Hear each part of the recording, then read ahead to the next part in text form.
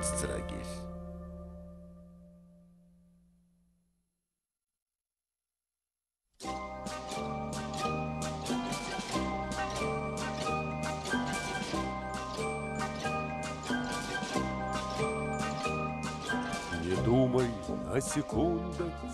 Հայրենական մեծ պատերազմում տարած հաղթանակից անցել էր արդեն 40 տարի։ Խորհրդային մեծ տերության հազար ու մի անկյունում մեծ հայրենականի զոհերի հիշատակին հուշարձաններ էին կառուցվել ու վաղուց ժամանակն էր, որ մեր քաղաքն էլ ունենա նրանց հիշատակը հավերժացնող իր սրբավայրը։ Ուրեմն 84 թվականի վերջերին էր, դեկտեմբեր ամսին էր, շրջկոմի առաջին քարտուղար Սիմոնյանը կանչեց իրան մոտ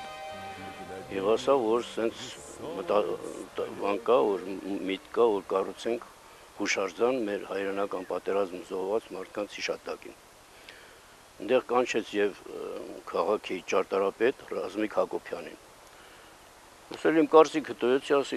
գծագիրը տող գծեի վերջացնեցի, երբ որ ամեն ինչ վերջացրած կլինի, նոր կերտանք տեղում կմտածենք, թե ինչ ինչով այդ բանը կառուցենք։ Պետք է հուշարձան կառուցվի, ինքը վրա սենց ուղեղը աշխատեց ամիջապես մի հատ բանո արեց ու վերջ։ Հիմի սրա սա դարել է հիմքը այդ հուշարձանը։ Դրա համար չենք մաքրում։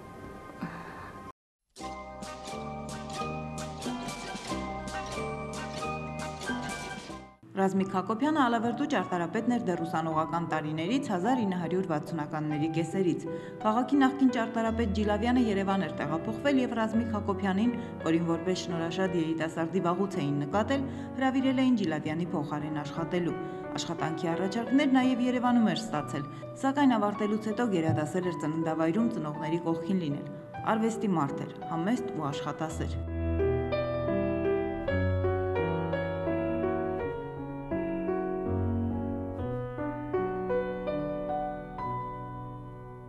Կարել ինքը շատ էր սիրում, քանդակել շատ էր սիրում։ Եվ փայտի, եւ քարի, եւ նկարել, ամեն ինչ, ամեն ինչ իր մոտ շատ երթությամբ ու սիրով էր անում ամենակարևորը, շատ աշխատասեր էր ինքը շատ։ Այն լույս չեղած ժամանակ գծագրական սեղանը ստեղ էր դրված, եթե լույսը տվեցին, ուրեմն պետք է գծեր, իսկ եթե չէ, մոմի լույսը պետք է վառես տեղից, իր անկողիննա ստեղ պետք է նստեր ու բանը մոմի լույսի տակ կարդար։ Այդ ձևի ճարտարապետ քիչ կար։ Նրա այդ ամեն մի քարը, ամեն մի աղբյուրը, ամեն մի այդ կամարը ինչ որ մի բան նշանակում է։ Ես իր լեզվով ես չեմ կարող ասել ինչ էր նշանակում, բայց ամեն մի կամար, ամեն մի քար իր խորհրդանիշն ուներ։ Մինչ Ալավերդու հուշարձանը ճարտարապետ Ռազմիկ Հակոբյանը նախագծել էր մեծ հայրենականի զոհերի ակուրու հուշարձանը։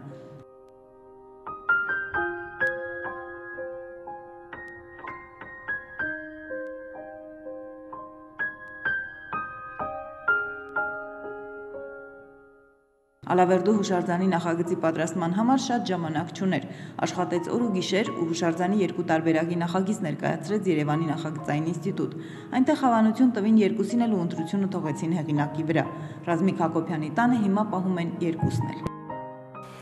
Գծագիրը արավ վերջացրեց, միջև հունվար արդեն պատրաստ էր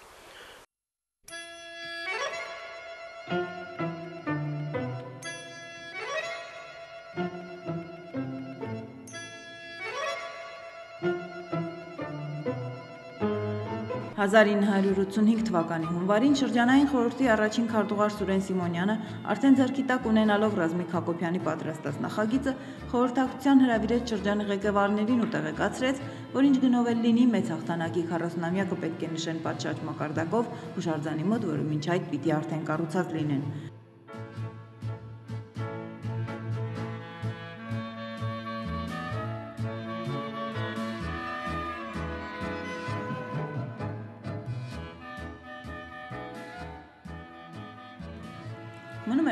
անհրաժեշտ միջոցների հարցը։ Խնդիրն այն էր, որ պետբյուջեով հուշարձանի կառուցում նախատեսված չէր եւ այդ նպատակի համար հատկացված գումար չկար, բայց շրջխորհրդի առաջին քարտուղարը վճռական էր տրամադրված։ Շրջկոմի քարտուղարը կանչեց ակտիվի ժողով արեց եւ քանի որ գումարներ չկար, առաջարկություն եղավ, որ այդ գումարները հավաքել բոլոր կազմակերպությունների ղեկավարներից, բոլոր կազմակերպությունների եւ անհատ մարդկանցից, ով ինչքան կարող էր։ Հայխնայ բանկում բացվեց հատուկ հաշիվ, որտեղ պետք է հավաքվեր հուշարձանի կառուցմանն անհրաժեշտ գումարը։ Հանգանակությանը մասնակցեցին գրեթե բոլոր ալավերցիները։ Ժողովուրդը մեծ ողջավորությամբ էր ընդունել հուշարձան կառուցելու գաղափարն ու ամեն մեկն իր հնարավորության չափով ներդրում էր անում հաշվեհամարին։ 25 ռուբլի լյոս եմ տվել իմ աշխատավարձից։ 50 ռուբլով այն ժամանակ կարելի էր ընտանիք պահել։ 25 ռուբլին քիչ փող չէր ու 25 ռուբլի տվողներն էլ քիչ չէին։ Թեև քիչ չէին նաև ավելի պակաս տվողները՝ 5 ռուբլի, 3 ռուբլի, ով ինչքան կարող էր։ Այդպես հավաքվեց մոտ 100.000 ու աշխատանքներն սկսվեցին։ Հունվար փետրվար ամիսներն էին, ձյուն ձմեռ, բայց օրերը բացվելուն սպասելու ժամանակ չկար, ժամկետն առանց այդ էլ կարճ էր, գործը շատ։ Տարածքը բաց ամայի գետին էր։ Տեսան, որ ստենց թեկություն էր գնում, մենք այս թեկությունը կտրտել ենք։ Այն ճանապարհից մինչև ներքի ճանապարհը ցենց ոբշի թեկություն էր ընդհանուր։ Ցենց լրիվ բան էր։ Թումբ էր, բան էր։ Եվ բարձր երաններ էր, եւ լրիվ ակորդները տված մենք էլ։ Ֆունդամենտին բռնած մինչև այս սեքս լրիվ փոսեր էր։ Այդ փոսերը բանը չին ակորդներ, հողը լրիվ են հին հայտրանսի են գարաժի տեղից մեկել ես ներքի կրանես բանից են գրել տեղերս։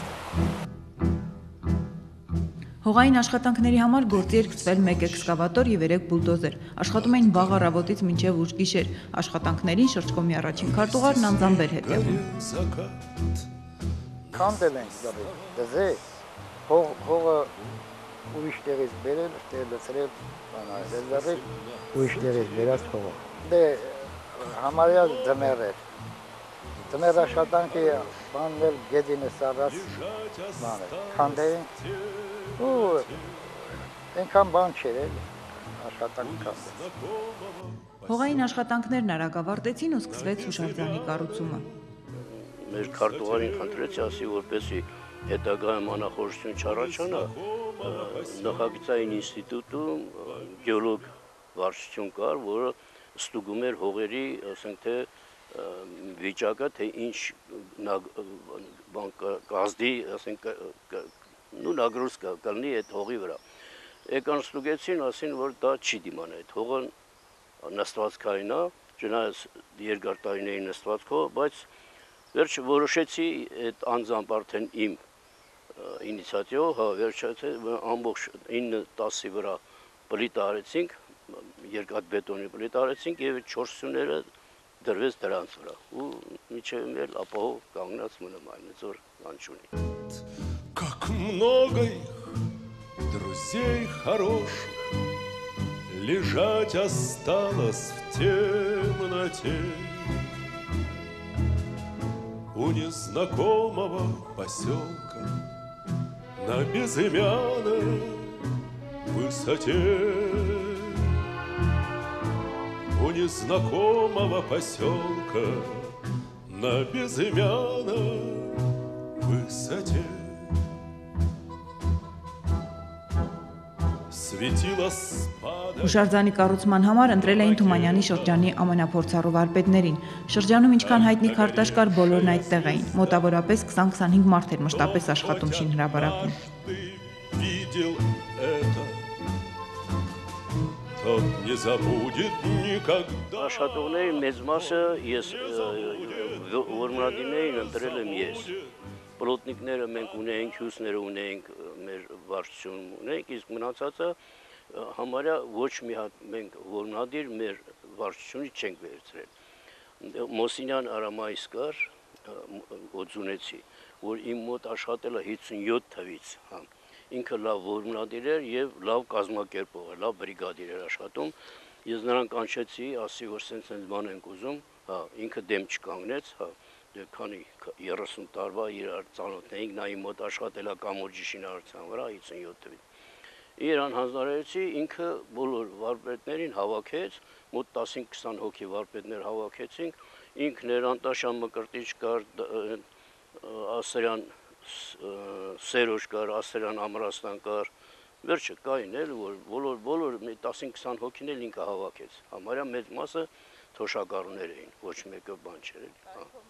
հա տարիքով մարդիկ էին, լուրջ մարդիկ էին, հա, այնպես որ լավ էր, հա։ ամ- ամ- ամրագործներն էլ ունի Սեղպոսյան ունիկ իրան տղաների հետ, հետո Նիազյան Ղարիբ կար Ակորի գյուղից նա էր,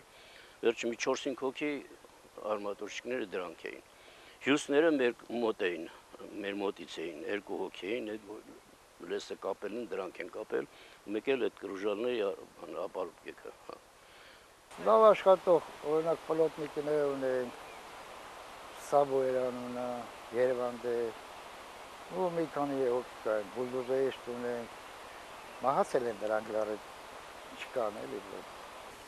Բոլորը համեստ, հանգիստ, մեծ մարդիկ են բոլորը տարիքով վարպետներ են։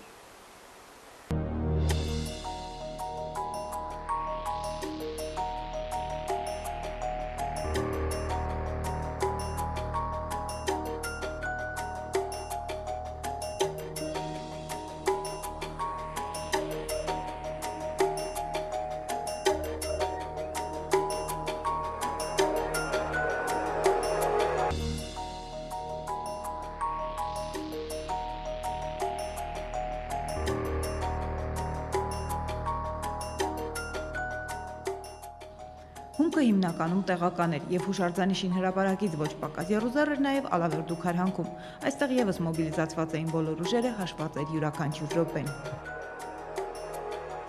Հայն աշխատանքների համար նախկին Շրսովետի քարտուղար Սուրեն Ռուբենիչը, ընկեր Սիմոնյանը։ Եթե մենք աշխատանքից հետո գնում ենք տուն, նա գնում էր քարհանքները։ Առավոտ գալիս ենք տեսնում արդեն քարը պատրաստ դրված է։ Ես վել էր բոլոր բազալտի եւ այդ աստիճանները եւ բազալտի ընդհանրապես բո- բոլոր բազալտի քարերը մենք բերել ենք մեր քարհանգվարությունից։ Այս բետոնի բարդյուրները եւ պլիտաները բերվել է Լեննականից։ Լեննականում շիների կոմբինատ կար, ընդեղից էր։ Մեր շիների կոմբինատը տենց բաներ չէր արտադրում, բարդյուրներ արտադրում էր, բայց այն պլիտաները մենք բերեցինք շիների կոմբինատը Լեննականից։ Օրվա ընթացքում շինարարները ոչ մի րոպե չէին հեռանում շինհրապարակից։ Սննդի հարցը լուծվում էր տեղում։ Նրանց խնդիրը միայն գործը ժամանակին ավարտին հասցնելն էր։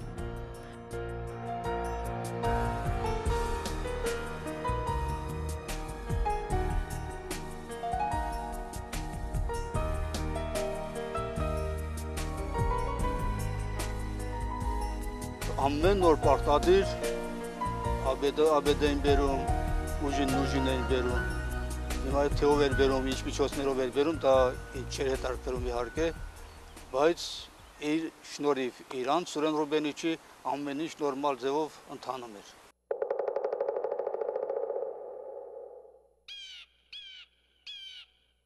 Հուշարձանի կառուցումը քաղաքում այդ օրերին բոլորի գործն էր, բոլորի նպատակը։ Շինարարներին աջակցում էր թե ղեկավարությունը, թե ժողովուրդը։ Դպրոցականները դասերից հետո գալիս էին շինհրապարակ եւ հենց տեղում հյուրասիրություն կազմակերպում։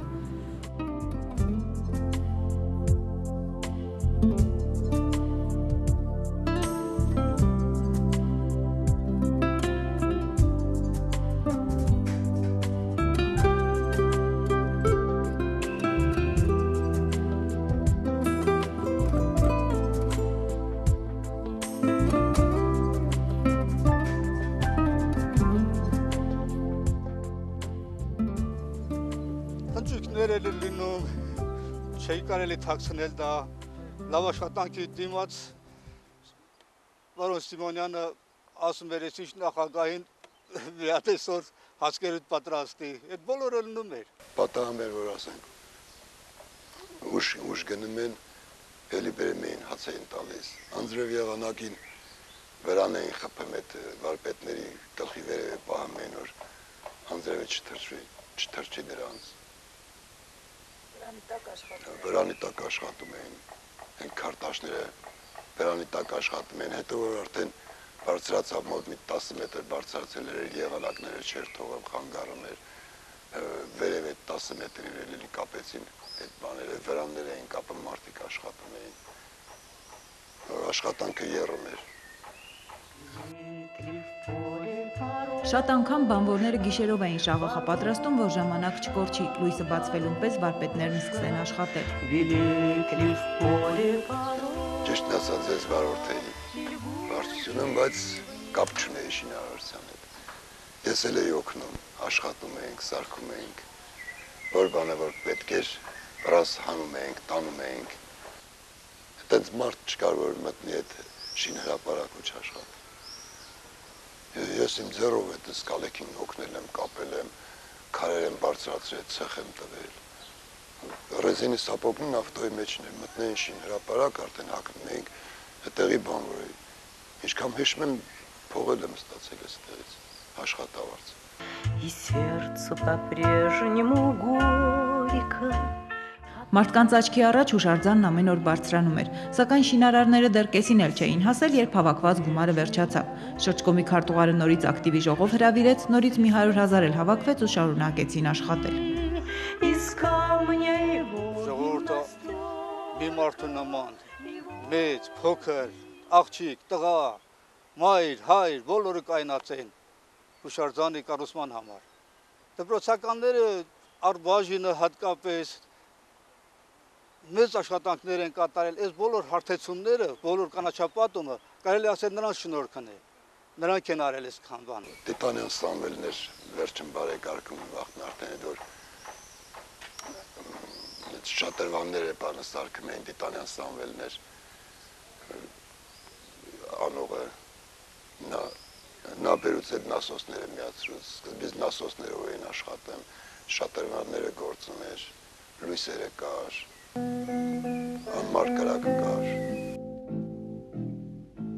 Հայրենական պատերազմի յուրաքանչյուր թումանյանցի զոհի համար մի ցայտ աղբյուր էր նախատեսված։ Ուսանվել Տիտանյանի ղեկավարած շինարարական կազմակերպությանը հանձնարարված էր հուշարձանի բացման օրը գործարկել նաև զոհերի հիշատակը հավերժացնող ցայտ աղբյուրները։ Բոլորն էս մոբիլիզացված է եւ այն ռոպեների ճշտությամբ մի քարն էլ ժամանակին տեղափոխում ձեռում է։ Այս ժամանակացույցի ամեն ինչ կատարում է։ Մեր էլեկտրոսոդողը սվարչիկը որ ասում ենք։ քնեց քթերի ծարուն են։ Քնեց փչեց քթերի ծարունը, որ հազիվ բուժօգնություն բանման տվեցինք։ Այդպես լարված աշխատում են բոլորը մի մարդու նման։ Ժամանակի ու ֆինանսի սղության պատճառով նախագծում փոփոխություն արվեց ու հուշարձանի վերջնական տեսքը փոքրինչ տարբերվեց ճարտարապետի նախատեսածից։ Նախատեսված էր 18-ից 19 մետր, մի 15-ը, մի 3-4 մետր պակսացրեցի, ու հետև չնայած ճարտարապետը շատ դեմ եղավ, բայց քանի որ գումարը չէր երեքում, արդեն դժվարանում էինք առնել, հետո ժամանակը երկարացում էր, դրա համար քարտուղարի հետ համաձայնեցեցինք, էլ չլսեցինք մեր ճարտարապետին, չնայած նա շատ վիրավորվեց, որ իրան գծագերը այդ նույն չափով ինչ որ ինքը գծել էր չի ստացվել, բայց այնպես մի 4 մետր պակասեցրեցինք, հա։ Ձևը պահպանվեց։ Ձևը պահպանվեց, իհարկե։ Գիտեք որն է սխմած։ Համարյա այն որ այն վերևի որ կա, չէ 2 մետր բարձրության։ Նրա ներքևն էլ անք 2 մետր նրանից է պակսացած, 2 մետր նրանից։ Որ 4 մետր պակսացրած է։ Այս քանդակները ուրեմն ինքը որոշեց, որ այս վերևի մասը 4 կողմն է նայում,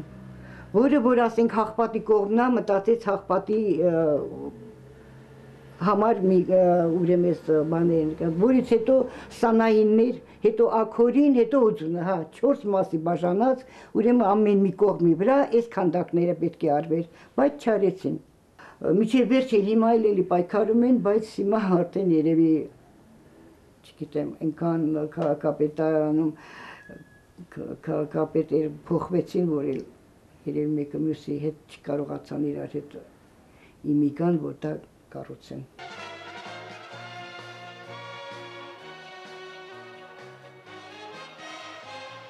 Թեկուզ եւ որոշակի շեղումներով, բայց Ռազմիկ Հակոբյանի նախագիծը կյանքի կոչվեց ու սահմանված ժամկետներում։ Մեծ հաղթանակի 40-ամյակի առիթով կառուցված հուշարձանն այդ օրերին բոլորի խոսակցության թեման էր։ Բացմանորը նպատակ ունեն որ 40-ամյակն է 40 հատ նորապսակներ պետք է տեղամուստանային, տուն տային, կատակով ասում են որ 40 հատ սպիտակ ձյավոր պետք է գա։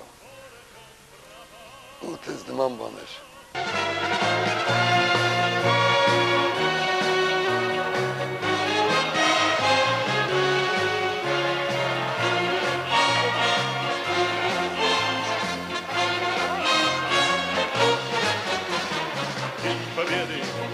Как он был от нас далек, как в костре потушен таял уголек. Были версты, обгорелые в пыли, Этот день мы приближали, как могли. 40 սպիտակ ձիավոր չեղավ, ոչ էլ 40 նորապսակ զույգ։ Մի զույգ միայն այդ օրն ամուսնացավ ու բնակարան նվեր ստացավ։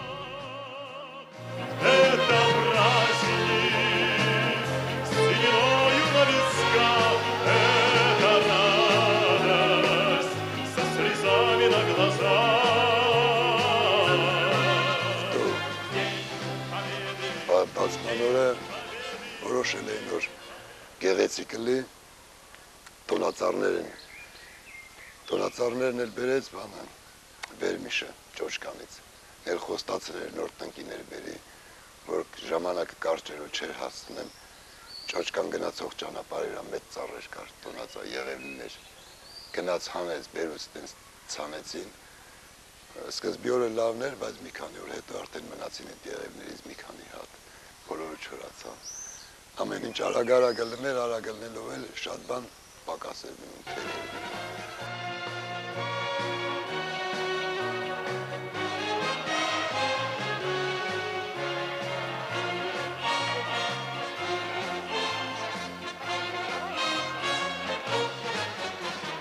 День победы, как он был от нас далек, Как в костре потушен таял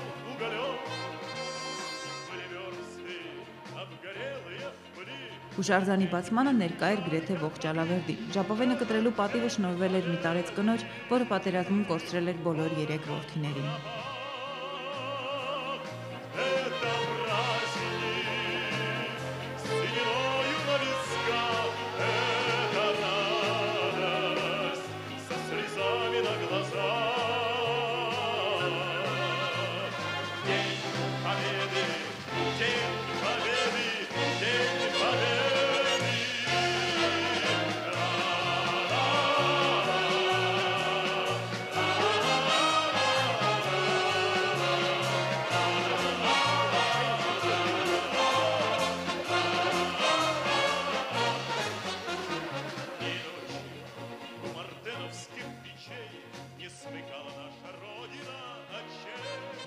Ամեն ինչ արված էր պատշաճ մակարդակով։ Հրավիրված էին հանրապետության հայտնի երգիչ-երգչուհիներ, երաժիշտներ, ասմունքողներ։ Այդտեղ էր արդեն մեծ ճանաչում ձեռք բերած Ալավերդու հայկենք քարաձայն երգշախումբը, ներկա էին բարձրաստիճան պաշտոնյաներ, զինվորականներ, պատերազմի ու աշխատանքի վետերաններ։ Եղան ելույթներ, մաղթանքներ։ Ամեն ինչ հանդիսավոր էր ու գեղեցիկ։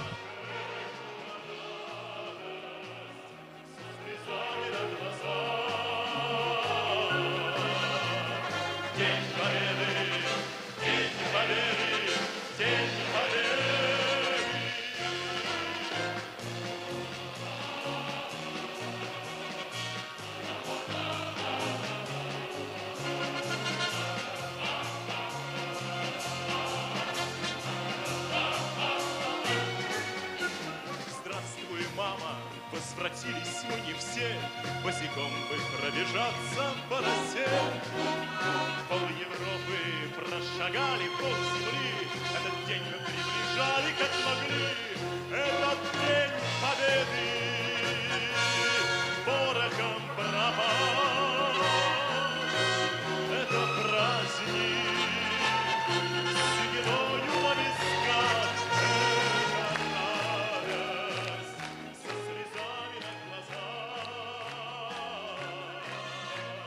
Անցել են տարիներ, հուշարձանն այսօր էլ կա ու արդեն խորհրդանշում է ոչ միայն հայրենական պատերազմի զոհերի, այլ նաև Արցախյան ազատամարտում ընկածների հիշատակը։ Միայն թե ցայտ աղբյուրներն էլ եղևնիների նման չորացել են ու չեն գործարկվում անգամ հաղթանակի օրը։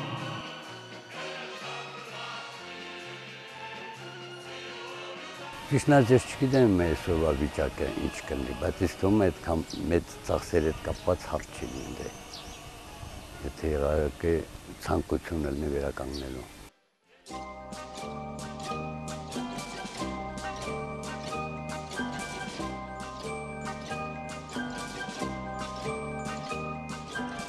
думай о секундах свысока. Наступит время, сам поймешь, наверное. Свистят они, как пули у виска. мгновения, мгновения, мгновения, мгновения, спрессованных в года, спрессованные в столетия, и я не понимаю иногда, где первое мгновение, где последнее. У каждого мгновения свой резон, свои колокола, своя отметина. Мгновенья раздают, кому позор, кому бесславие, а кому бессмертие. Из крохотных мгновений соткан дождь, Течет с небес вода обыкновенная, И ты порой почти полжизни ждешь, Когда оно придет, твое мгновение. Придет оно большое, как глоток, Глоток воды во время зноя летнего. А в общем, надо просто помнить долг.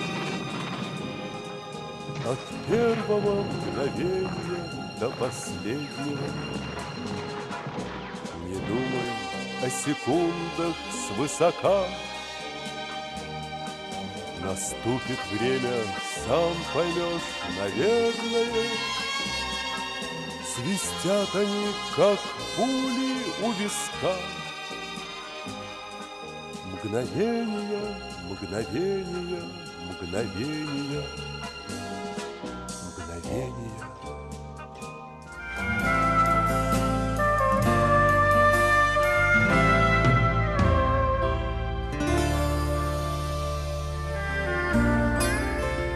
Հայկական բղինց ծրագիր